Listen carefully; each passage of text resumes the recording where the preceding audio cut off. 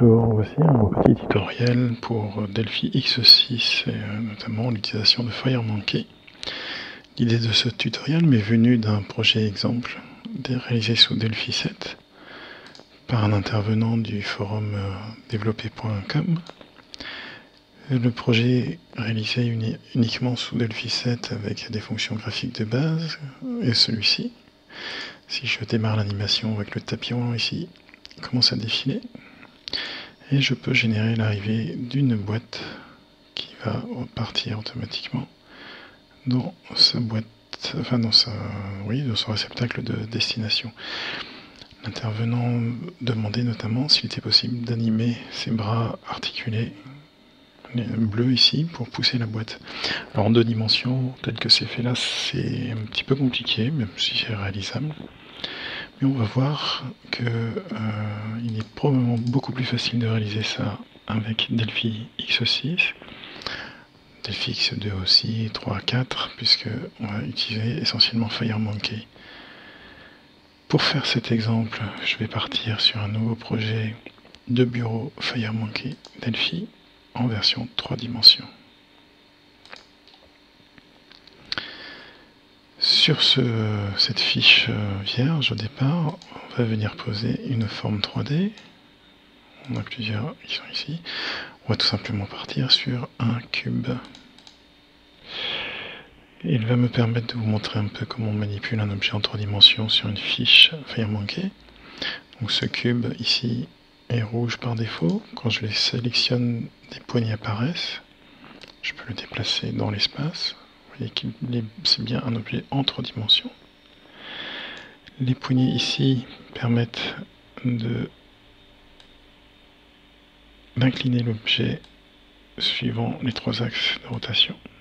Alors, remarquez que les rotations se cumulent, on est sur une matrice de transformation et pas sur une simple rotation. Et ici un deuxième petit cube qui apparaît dans le coin de l'objet qui va me permettre de sélectionner deux des trois dimensions de l'objet. Ici, j'ai la largeur et la hauteur que je peux étirer. Si je viens me prendre, prendre l'autre face, je pourrais étirer en profondeur et en largeur. Et sur la troisième face visible du cube, je pourrais intervenir sur la hauteur et la, profondeur. On met ces manipulations à la souris font très vite se limiter, parce que notamment si vous voyez je fais une rotation de cet objet, une des trois poignées n'est plus accessible, celle-ci. On va vite se trouver coincé. À chaque fois que j'ai une poignée qui est cachée derrière, je ne peux plus manipuler mon objet. Notamment, je ne peux pas euh, déplacer ma caméra. Donc on va très vite revenir sur l'inspecteur d'objet. Et au niveau de la rotation, on va pouvoir venir la remettre à zéro assez facilement. On va pouvoir aussi beaucoup plus facilement définir les dimensions de mon objet. Je vais faire un cube de 5 de large, 5 de haut et 5 de profondeur. Et sa position qui n'est plus euh, comme dans les applications VCL définies par left top, mais par une un objet de position 3D, ici Y et Z, je vais la mettre en profondeur, ce qui a pour effet de réduire l'objet à l'écran. Donc ce cube par défaut est rouge, quand il n'est pas sélectionné, on ne voit même pas très bien que c'est un cube. pour cela, nous avons les matériaux. On en existe trois, matériaux de couleur, de texture et de matériaux euh, gère la lumière. C'est le plus intéressant, je vais l'utiliser. On retrouve, je n'entrerai pas dans le détail de ces notions, mais la couleur ambiante, la couleur diffuse, l'émissive, euh, la, brillance et la lumière spéculaire. Si je choisis, euh, par exemple ici pour un cube, une couleur sandy brown, qui s'approche de la couleur carton, et que je viens dire que mon cube utilise cette couleur, je n'ai pas du tout la même couleur, tout simplement parce qu'il n'est pas éclairé. Donc je vais aller chercher une source de lumière, que voici. Je vais pouvoir également déplacer orienter pour éclairer mon objet. Vous voyez que ça donne tout de suite un objet beaucoup plus sympathique, simplement grâce à cette source de lumière. Il faut la positionner correctement. Euh, voilà, par exemple. J'ai un joli cube. Donc ce cube, on va le placer sur un tapis roulant. Pour faire un tapis roulant, on a un objet bien pratique qui est le plan. Le plan 3 en 3 dimensions. par défaut, il est également euh, rouge. Je lui donne une largeur par exemple de 30, une hauteur de 7. Euh, la profondeur, il n'y en a pas sur un plan. Puisque si je fais tourner mon plan, vous allez voir que je ne peux pas le faire tourner comme ça. Je vais faire un tourner à 90 degrés. En fait, c'est un, un plan sans épaisseur. Une épaisseur de 0,001 plus exactement. Je peux pas changer cette valeur. Ce n'est pas un cube ni un parallépipède, c'est bien un plan. Je vais le remettre au centre. Je vais le placer sous ma boîte, donc sur l'axe euh, des Y. Donc l'axe des X est horizontal vers la droite, l'axe des Y vers le haut, l'axe des Z vers le fond. Donc sur l'axe des Y, je vais le mettre à 2,5 pour le placer sous mon objet. Et en Z, je vais le mettre à 5 comme mon cube. Et voilà, j'ai un plan juste en dessous de mon cube. Ce plan, va lui aussi lui donner matériel de couleur.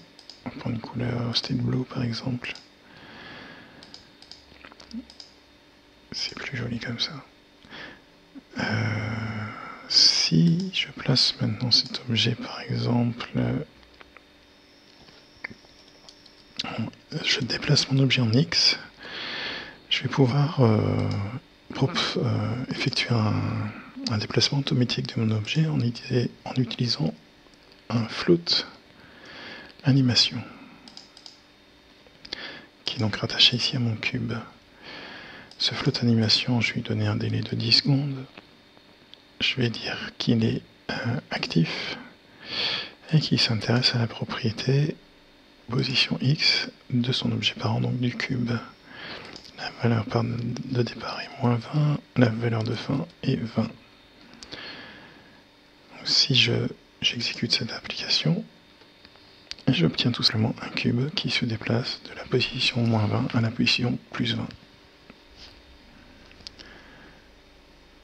C'est intéressant. Je n'ai pas tapé une seule ligne de code. On va s'amuser maintenant à ajouter un objet cylindrique. je vais positionner en profondeur à 7 euh, par exemple. J'ai une largeur de 3, 2, une profondeur de 2, une hauteur de 3. Oui, c'est pas mal. Je lui donne une couleur un peu plus sympathique. Voilà un joli cube un peu trop loin, on va mettre à 7,5. 7. 6. 6,5, allez. Ce sera mon dernier mot. Et ce cylindre, je vais lui ajouter un cube. Donc cette fois-ci, le cube est bien un enfant de mon cylindre. Lui donner une largeur de 7 par exemple une hauteur de 3, 2,5. Je vais changer sa couleur. Voilà. Et vous remarquerez d'ailleurs que quand je change les dimensions de mon, cube, ça se passe par rapport au centre de mon cube. Maintenant, si je déplace mon cube à l'intérieur de mon... par rapport à mon cylindre, j'obtiens quelque chose d'intéressant puisque ce cylindre, je vais pouvoir lui appliquer une rotation, donc suivant l'axe vertical, l'axe des Y par exemple de 10 degrés, 20 degrés, 30 degrés, 40 degrés, 45 degrés, 90 degrés. Voilà un joli bras articulé. Si je lui ajoute une flotte animation d'une durée de 0,2 secondes, c'est très bien, qui est active, avec un décalage de 5 secondes par rapport aux autres animations, que je vais, euh, non pardon, faire en auto-reverse, qui va donc se faire automatiquement en sens inverse sur la rotation Y de 0 à 90 degrés. Qu'est-ce que ça donne?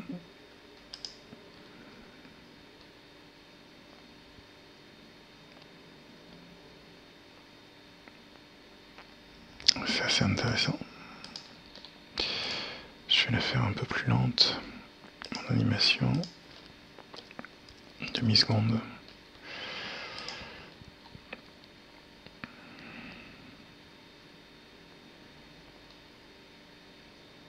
Voilà.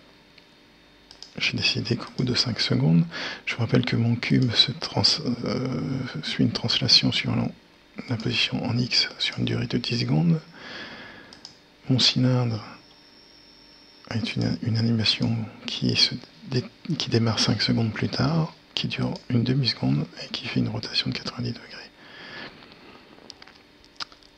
Alors, si je rajoute ici à mon cube une autre animation je vais activer, que je vais aussi mettre en décalage à 5 secondes et que je, je lui donne une durée de 0,5 secondes, et cette fois-ci, je vais m'attaquer à la position Z de mon cube. La valeur initiale sera de 5, la valeur terminale sera moins 2 pour sortir du tapis. si j'exécute ça,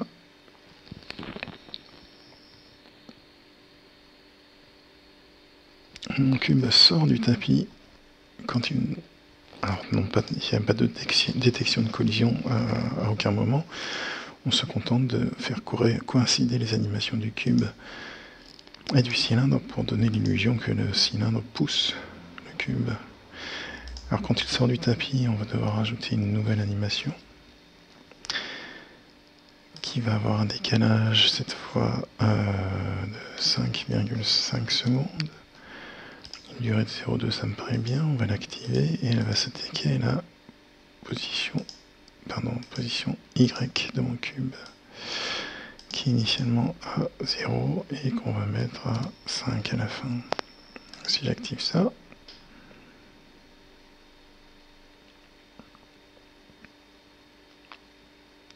mon cube est poussé et tombe. On pourra regretter que ce cube, une fois tombé, continue sa course. on a vu que le déplacement était lié par l'animation flotte 1 qui dure trop longtemps. Si je l'ai fait durer 5 secondes avec un déplacement jusque 0,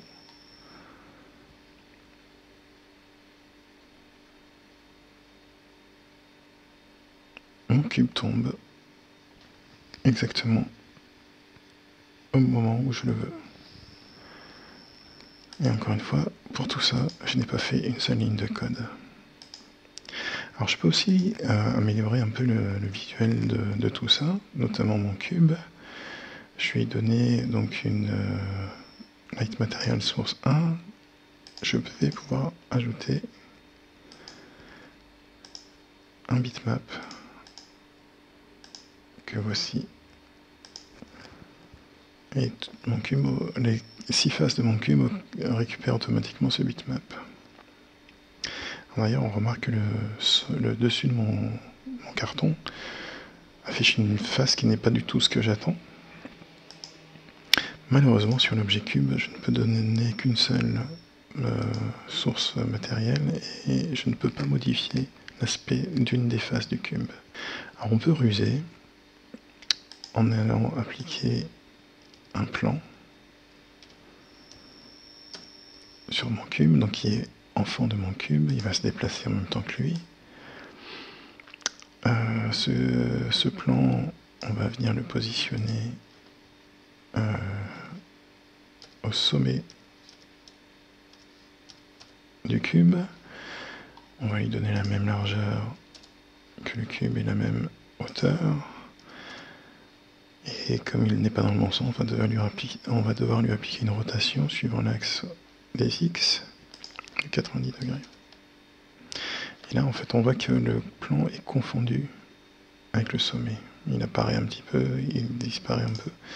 On va donc le mettre juste un chouïa au-dessus pour qu'il se superpose bien à mon cube. Du coup, je vais pouvoir créer un nouveau light material source avec une nouvelle bitmap ici qui représente le sommet d'un cube avec un morceau de scotch.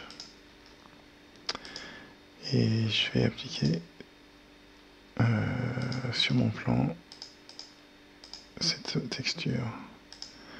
On exécute le tout.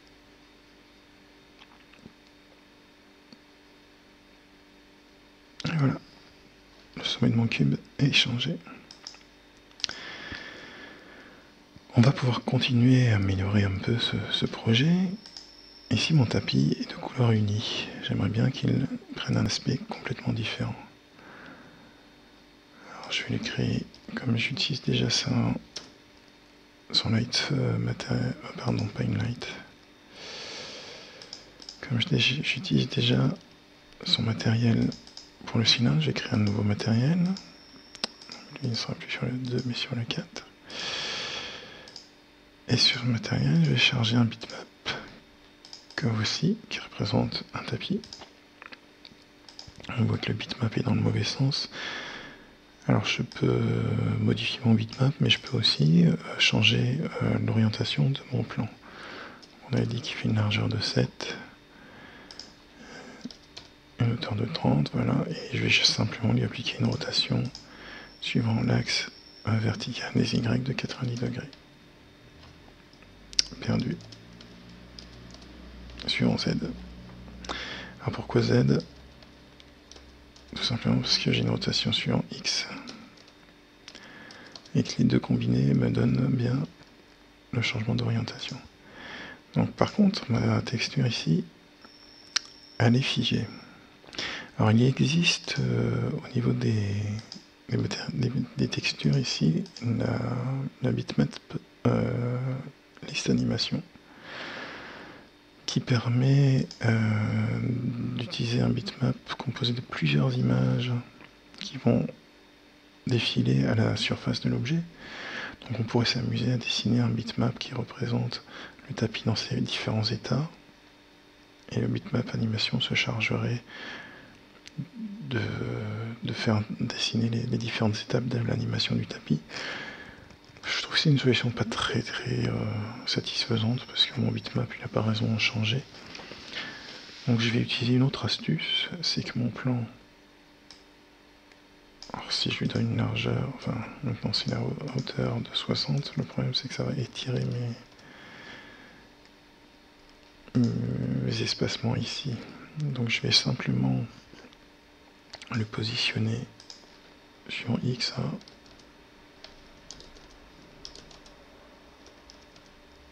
moins 0, non, à moins 5, moins 20, moins 30, moins 25. Voilà, moins 25 c'est bien. Et je vais, créer je vais tout simplement dupliquer mon plan. Alors, il me semble que je peux le faire.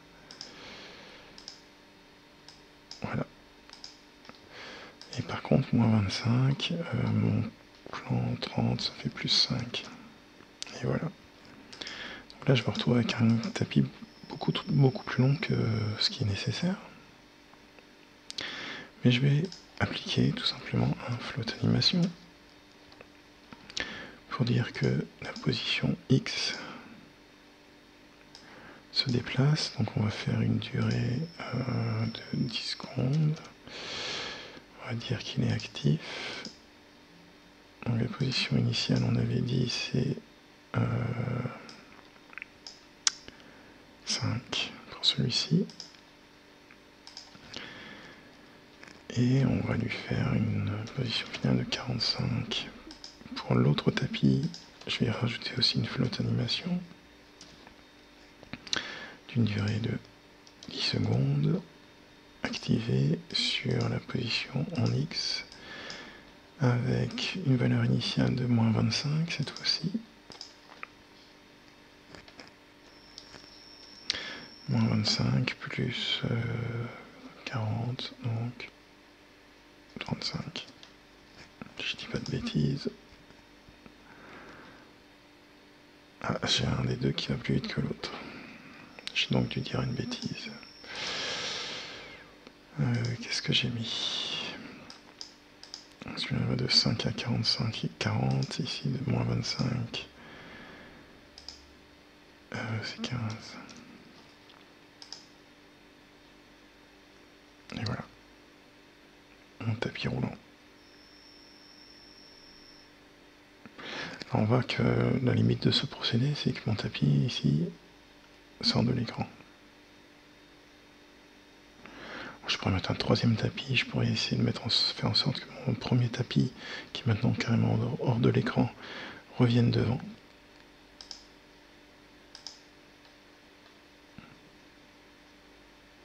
Mais je trouve qu'on a déjà un résultat plutôt sympa. Tout cela sans faire une seule ligne de code, je le rappelle. Alors je vais arrêter ce tutoriel ici sachant que euh, je reviendrai probablement sous peu avec une autre approche de ce même problème, mais cette fois-ci en tapant un petit peu de code pour se faciliter la vie, notamment comment faire un cube avec une surface qui soit différente des autres et comment faire défiler cette texture sans ruser avec malgré tout deux plans et deux animations. À très bientôt.